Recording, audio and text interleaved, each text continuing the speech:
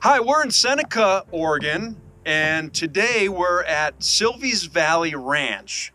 And we're talking to certified golf course superintendent and former GCSAA president, Sean Hoolehan.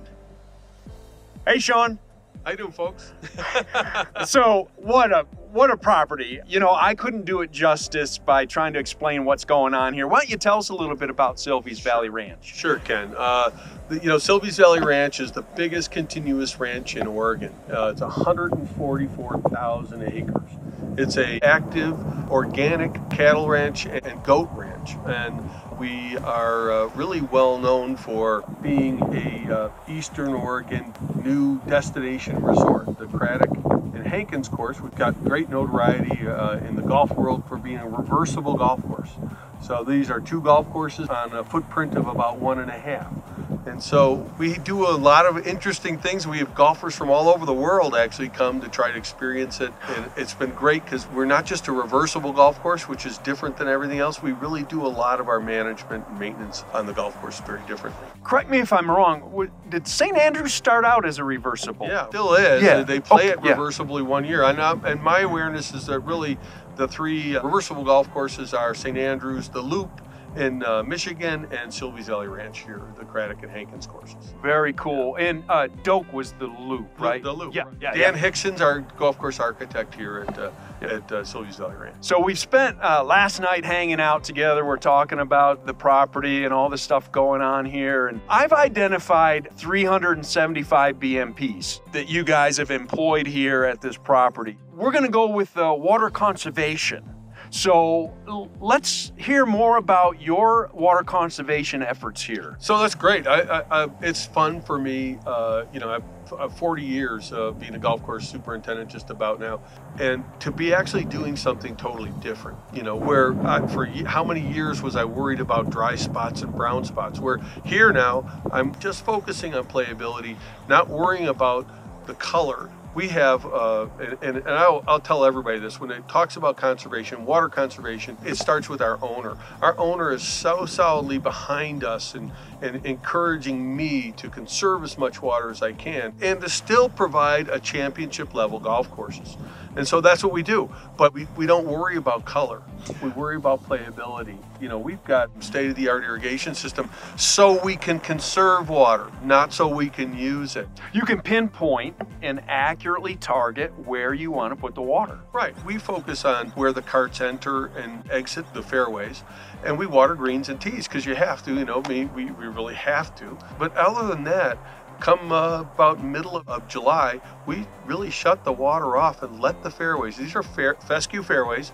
They can go, the fine fescue can go dormant. It goes dormant pretty quick when you turn the water off, which is one of its really resilient qualities. So we will put a little water on, on maybe every two, three weeks, just enough to keep everything from going off, completely off. But it's, it will go pretty solid brown and, and play like a true links golf course. So one of the points I want to make is that not every golf course could do what you're doing, but you guys identify a way to conserve all of this water, which in turn reduces fungicide use. Oh yeah. So we have very little inputs on these golf courses. So I mean, when I mean little, very little, we'll make one fungicide applications to greens only, and that's coming in about a week or two for snow mold. Because we do get, we're a mountain meadow, high mountain meadow golf course at just about 5,000 foot elevation. We'll get a good snowpack up here. And so we have to do something for snow mold. That's the only fungicide application I make all year. But you know, we say not every golf course can do this. Really, truthfully, I think most superintendents do some level of this because they focus on playability and what they where they can go and how far they can do it. And so, you know, we all we talk firm and fast conditions, and everybody's paying attention to water use. Sure, they they really are. And so, no one wants to play a, a soaking wet golf course. So I think to certain levels that most guys do something like this. Most golf courses do it.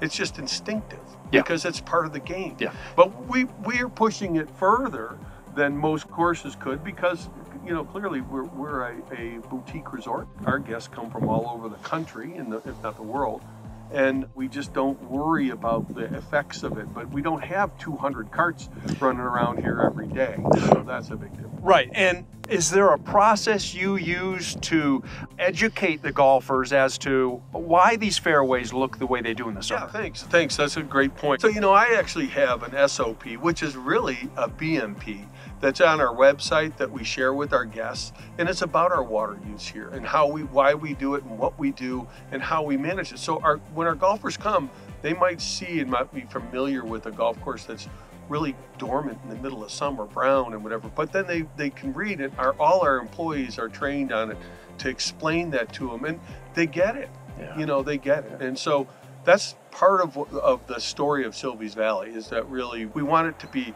great for the uh, environment, for the animals who live on the ranch, for our guests? Well, uh, super impressive. Uh, I hope more golf courses and the golf industry in general will follow the lead of uh, Silvies Valley Ranch and continue to make strides in water conservation because it's really an important part of golf's future. Uh, so uh, thanks for having me here today and hosting me and uh, showing me around the property and I hope hopefully I can come back sometime. Yeah, next time you come we'll go on a bike ride. Fair enough. Right. A deal. All right. All right. Thanks Sean.